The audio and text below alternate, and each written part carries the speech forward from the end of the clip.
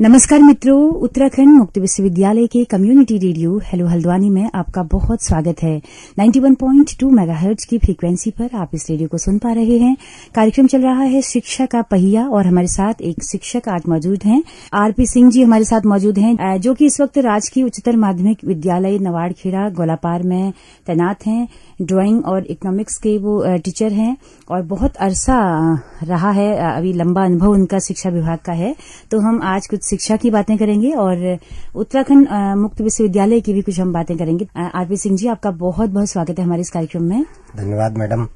जी। मैं तो विश्वविद्यालय में आया था अपने निजी कार्य से और आप लोगों ने मुझे इतना मान सम्मान दिया और मुझे इस मंच पर बुलाया।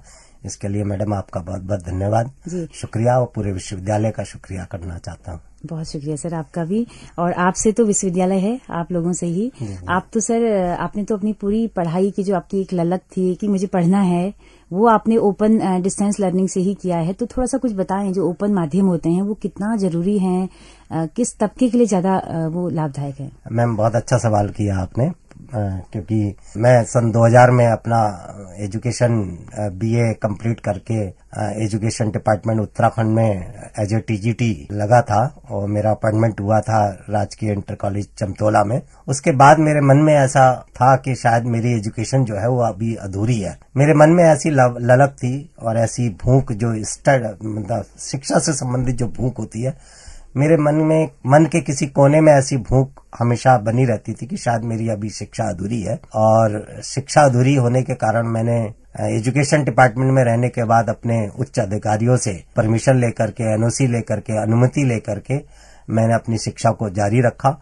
और मैं इस समय तीन सब्जेक्टों में पीजी हूँ और एक सब्जेक्ट मेरा मनोविज्ञान है और मनोविज्ञान से मैंने जो किया है वो डिस्टेंस एजुकेशन जो कि पूरे भारत में एक जानी पहचानी यूनिवर्सिटी है इग्नू इंदिरा गांधी राष्ट्रीय मुक्त विश्वविद्यालय नई दिल्ली। वहाँ से मैंने एमए मनोविज्ञान से कंप्लीट किया है। और दूसरा सब्जेक्ट मेरा शिक्षा शास्त्र है। शिक्षा शास्त्र मैंने कुमायूं विश्वविद्यालय के डीएसबी कैंपस से मैंने एमए शिक्षा शास्त्र पास किया है 2010 में। तो ये भी प्राइवेट देकर के ही मैंने ये परीक्षा पास की है। और उसके बाद मेरा अर्थशास्त्र है एम है और उसके बाद मेरा जो अभी भी भूख पूरी नहीं हुई थी स्टडी की या शिक्षा की भूख पूरी नहीं हुई थी, मैंने फिर इग्नू से ही बीएड किया और बीएड में भी मेरे 74 परसेंट है। उम्र तो मेरी इस समय लगभग छियालीस साल है। लेकिन ये जो शिक्षालय चल रहे हैं पूरे भारत में हर राज्य में एक विश्वविद्यालय है उत्तराखंड मुक्त विश्वविद्यालय चलते हैं जैसे हाँ, सारे राज्यों में नहीं है पूरे कई कई कई अधिकांश राज्यों में मुक्त विश्वविद्यालय चल रहे हैं।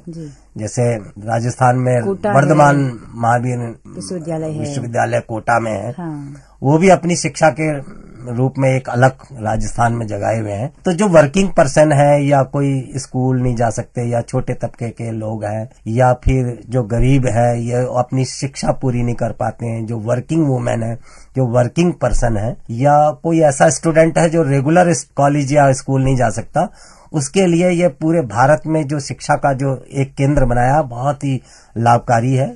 हम लोग अपने काम काज करते हुए, दैनिक काम काम काज करते हुए हम अपनी शिक्षा को पूरा कर सकते हैं। बहुत अच्छा विश्वविद्यालय है। उत्तराखंड मुक्त विश्वविद्यालय आज के समय में वर्तमान समय में पूरे उत्तराखंड में बहुत अच्छी अपनी भूमिका निभा रहा है। हम्म। जैसे शिक्षा विभाग के जितने भी कर्मचारी हैं या जितने भी शिक्षक हैं या अन्य विभागों के भी बहुत सारे कर्मचारी या टीचर या कोई ऐसा कोई पर्सन है वो अपनी जो पूरी शिक्षा है वो उत्तराखंड मुक्त विश्वविद्यालय को रिफर करते हैं।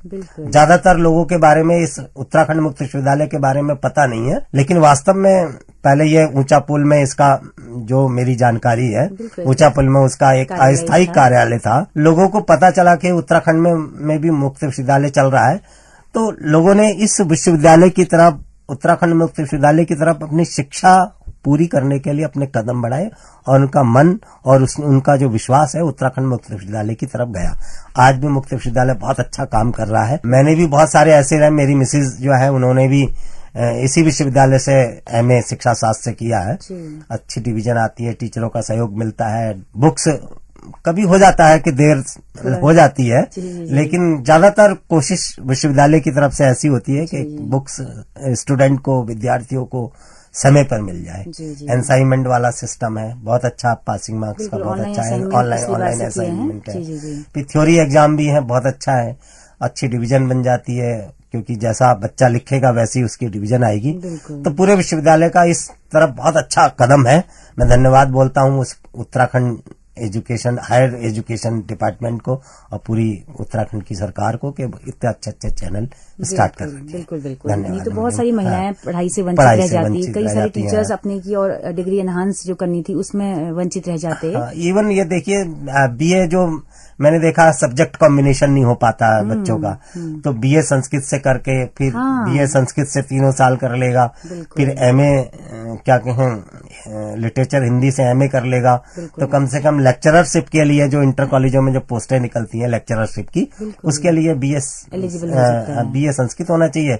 और एमए में उसका लिटरेचर तो ऐसे बहुत सारे बच्चे रहे जिन्होंने अपना कॉम्बिनेशन भी यहाँ से पूरा किया जी जी मैं, मैं बहुत हम आपको अच्छा बता दें कि अभी लगभग एक लाख के करीब यहाँ के स्टूडेंट हैं यहाँ पर जो एनरोल्ड अच्छा, हैं। हाँ, जी जी क्योंकि अभी कुछ साल पहले कई सारे ये कुमाऊं विश्वविद्यालय ने अपने जो प्राइवेट के बच्चे थे वो भी यहाँ रेफर कर दिए हाँ, हैं कि हम अब प्राइवेट परीक्षा नहीं कराएँगे क्योंकि उनका शेड्यूल सत्र हमेशा गड़बड़ा जाता था। तो अब प्राइवेट सारे बच्चे जो प्राइवेट करते हैं वो भी यहाँ आते हैं और बाकी जो वैसे डिग्रियाँ लेना चाहते हैं वो भी यहीं पे आ रहे हैं। और लगातार अपने भवन में विश्वविद्यालय आ चुका है। आपने तो ऊँचा पुल का कार्यालय देखा था।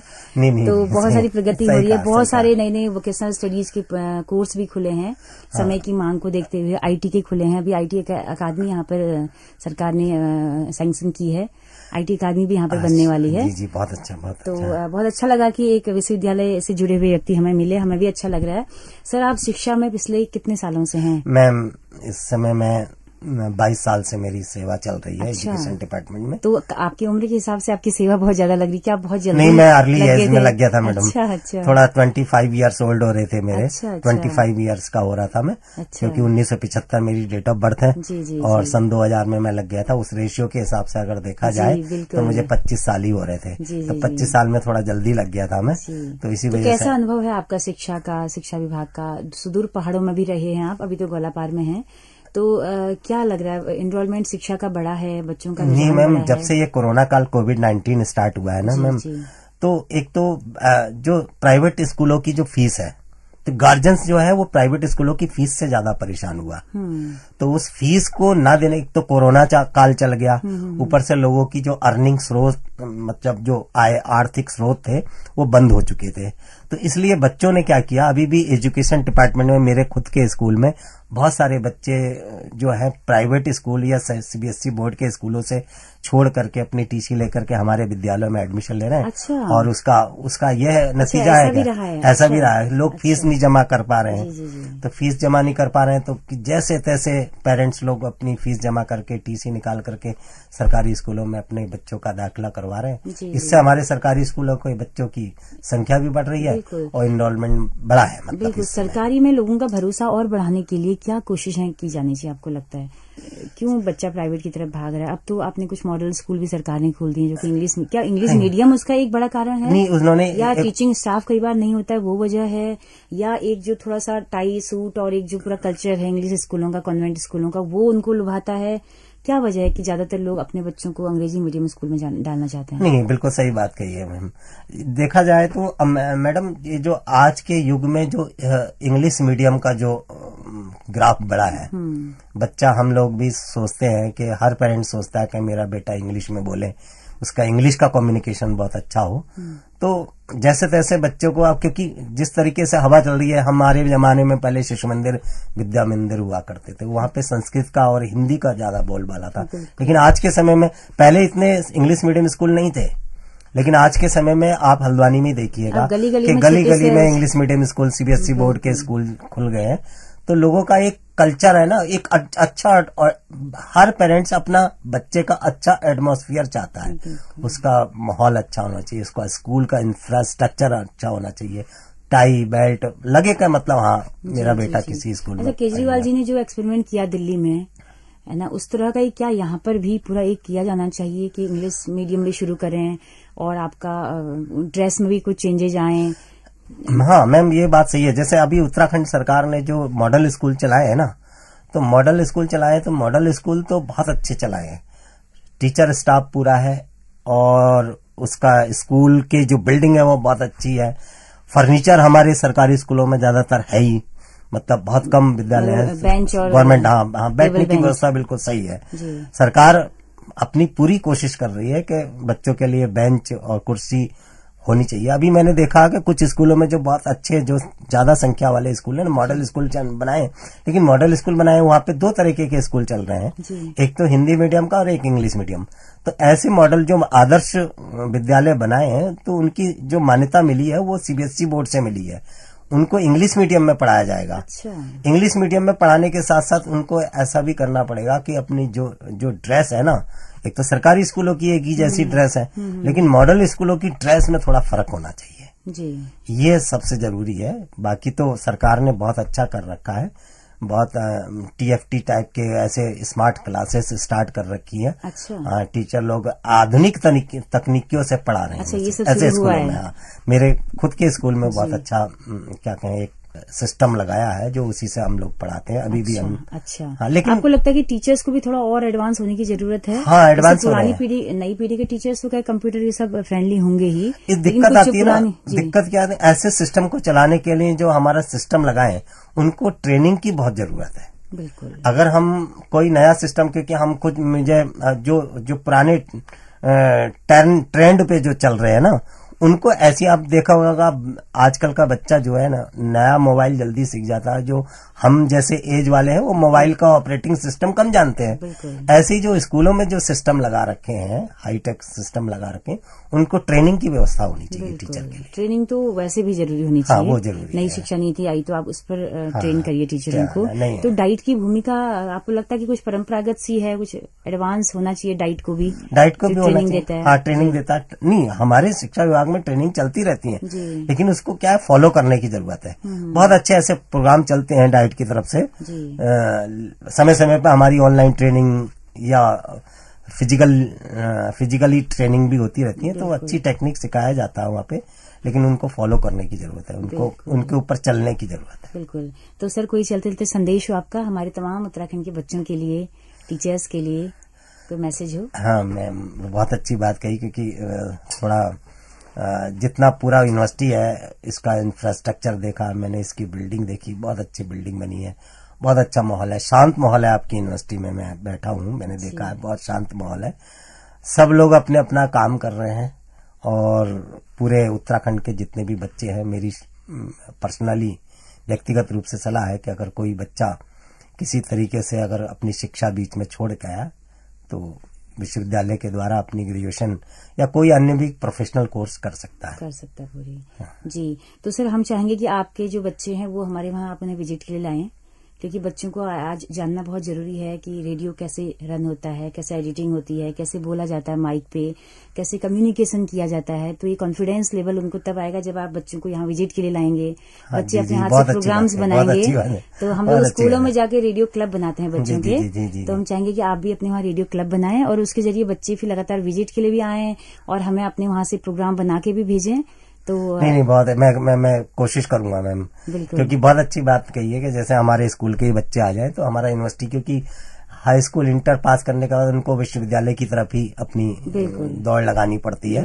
तो हमारे बच्चों को भी बाकी हमारे बच्चे थोड़ा कम्युनिकेशन में थोड़ा सा लो कॉन्फिडेंस उनका हो जाता है। कई बार बोलने की स्किल्स उनको नहीं आते बोलने की स्किल नहीं तो वो सीखना हमें लगता है कि हाँ। वो सीखना बच्चों के लिए बहुत ज़रूरी है और उसके लिए रेडियो एक अच्छा माध्यम हाँ। रेडियो एक बहुत अच्छा माध्यम है। और आप मतलब स्किल जो है ना कम्युनिकेशन स्किल ना बच्चों के अंदर जो है वो थोड़ा मैं समझता हूँ कि अगर ऐसे प्लेटफॉर्मों पे अगर बच्चों को विज़िट करवाया जाए हम्म। तो उसके अंदर कॉन्फिडेंस आएगा आत्मविश्वास आएगा और अपनी बात को रखने में सक्षम होंगे। बिल्कुल। तो आरपी सिंह जी आपका बहुत बहुत शुक्रिया। इतना कीमती वक्त आपने हमें दिया।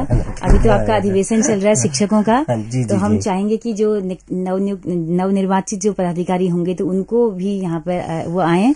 अपने जो इश्यूज़ हैं अपने जो मुद्दे हैं वो यहाँ पे रखें। हाँ, क्योंकि शिक्षक क्योंकि शिक्षक जो है एक बहुत बड़ा समुदाय है हमारे रेडियो का। हाँ, एक बड़ी कम्युनिटी है शिक्षक जो होते हैं। शिक्षक तो एक वो चीज़ है कि हम शिक्षित हैं सबसे हाँ, ज़्यादा अवेयर हैं। जी जी जी।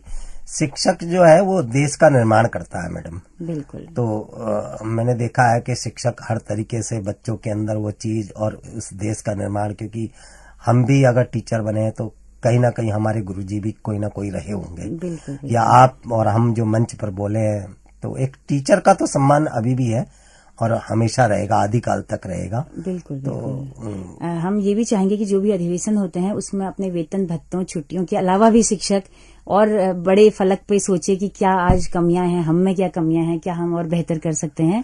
नहीं मैं मैं मैं मैं, मैं तो सोचता हूँ बिल्कुल बिल्कुल। मेरे अंदर जो है जैसे टीचिंग कभी करता हूँ और मन अगर टीचर अगर आधा घंटा अक्सर जो पदाधिकारी चुने जाते हैं हम देखिए कि उन्हीं इश्यूज़ को लेकर कई बार लड़ रहे होते हैं। वो, नहीं, हाँ, वो, वो मुद्दे उनको मिले नहीं होते हैं वो भी मिले नहीं होते हैं। तो कहीं ना कहीं जो जो हाँ। हमारा जो खुद का जो व्यक्तिगत लाभ है ना व्यक्तिगत लाभ की ज़्यादा बातें करते हैं। बिल्कुल तो, तो हम एक संदेश है कि जो भी अधिवेशन अभी हो रहा है वो पदाधिकारी को आप यहाँ पे लाएँ।